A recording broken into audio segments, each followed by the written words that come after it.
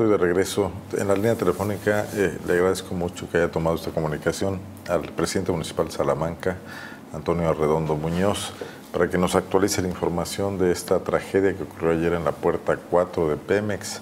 Le llaman el área de llevaderas en la refinería Antonio M. Amor. Originalmente fueron ocho trabajadores lesionados, cinco de gravedad, pero ya han fallecido tres de ellos. Eh, Antonio, ¿cómo estás? Gracias por, por comunicarte con nosotros. Arnoldo, a la orden. Este, buenas tardes. Bueno, pues les tocó a ustedes estar también ahí atendiendo la emergencia. Pemex tiene un buen equipo de seguridad, ¿no, Toño? Ah, ¿O lo tenía o ya no lo tiene? bueno, bueno. Sí, bueno, ¿me escuchas? Ahí te escucho, Arnoldo. Sí. Perdón, no te... No te, no- Te decía, originalmente Pemex tenía un buen equipo para reaccionar este- ante este tipo de cosas. Eh, ¿Lo sigue teniendo o hubo necesidad de auxiliarlo desde distancias como el- las municipales, bomberos, etcétera? No, bueno, nosotros hicimos lo propio. El eh, comentarte que el incidente que pasó ayer, hace, fue a las 3 de la tarde, pasadita de las 3 de la tarde, nosotros como fue enfrente de la puerta 4 en- sobre la avenida Faja de Oro y Héroes de Cananea, pues dimos la atención requerida, obligada por parte de Protección Civil del municipio. Eh, está todavía revisándose, hoy, hoy tuve la oportunidad de platicar con la gente de la CEA, vino el titular Carlos de Régules, eh, hace rato estuvo aquí en mi oficina, platicamos eh, sobre los análisis, las revisiones que ellos por los protocolos tienen que empezar a hacer.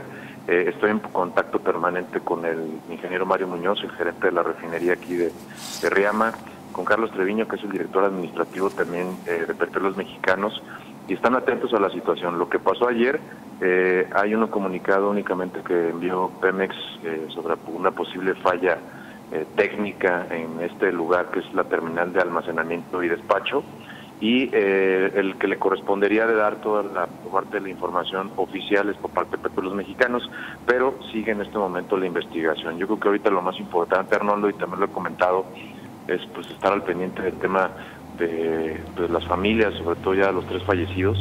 Hay cinco personas todavía que están eh, graves, dos se han trasladado a la Ciudad de México, eh, el, eh, otro está en la, en la ciudad de Valle de Santiago y el resto están aquí en el en el hospital regional. Desgraciadamente han perdido la vida dos dos dos hombres y, y una mujer que fue la que falleció ayer en la noche. Y, y bueno, son parte de los protocolos que está teniendo la agencia, las revisiones para ya emitir algún algún comentario al respecto. Eh, Antonio, ¿todos son empleados de Pemex? ¿Perdón? Todos los, eh, bueno, los tres fallecidos, los cinco heridos son empleados de la refinería. No, de los ocho que, estuvieron eh, presentes el día de ayer, eh, cinco son de una empresa que da servicio a petróleos mexicanos. Las otras tres personas, eh, dos hombres y una mujer, sí son trabajadores de petróleos mexicanos. Eh, de los fallecidos, eh, el hombre, un hombre y una mujer, trabajadores de Pemex, son los que ya, ya perdieron la vida. Y hace rato eh, falleció una persona que laboraba en la empresa. Entonces, eh, pues es, es hasta el momento cómo, es- cómo está la cosa. Lo que se sabe es que hubo un- una explosión en una válvula que después eh, provocó el estallido de la pipa. Así es. Y bueno, es hasta el momento, pues la poca información que se tiene, está la investigación por parte de la Agencia de Seguridad, la CEA. Agencia de Seguridad Energética, ¿no? Ah, Así es, la Agencia de Seguridad Energética.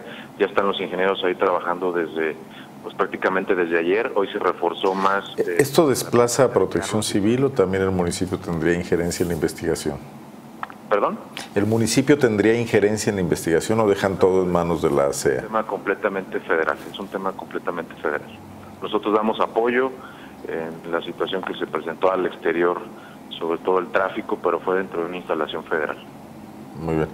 Eh, bueno, Toño, es complicado esto, yo sé que tú no tienes por qué responderlo, pero el tema es también la falta de mantenimiento, el hecho de que la refinería no logre tener la inversión que se requiere para modernizarla, o pudiera ser un... Bueno, la investigación me imagino que arrojará estos datos, ¿no? Una falla, una falla que sucedió el día de ayer, tengo entendido y conozco trabajadores petroleros que están completamente capacitados para cualquier emergencia.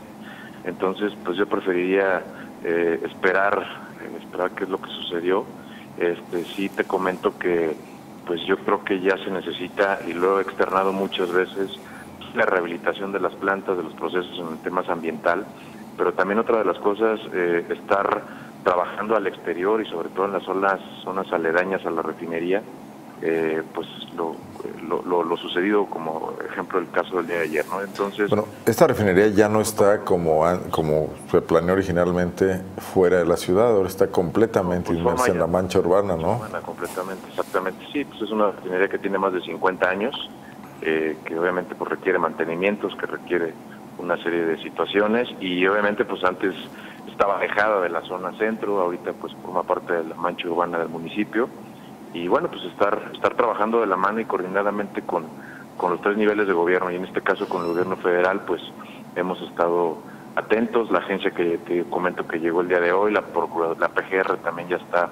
trabajando ahí en la investigación, entonces pues eh, seguimos colaborando y coadyuvando con, con, con, la empresa y con el gobierno federal. ¿La operación es normal en estos momentos?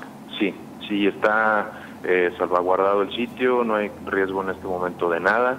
Desde ayer que también se reactivó la, las vías, eh, eh, las calles, sobre todo este Boulevard Faja de Oro, que es por muchas personas conocida, y la calle Héroes de Cananea, que aquí es donde forma, es prácticamente enfrente de la Puerta 4, es como en contraesquina, de cuenta. Muy bien.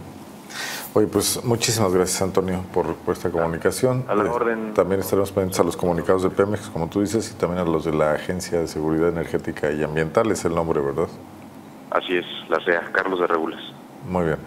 Eh, buenas tardes, Toño. Gracias, buenas tardes, saludos.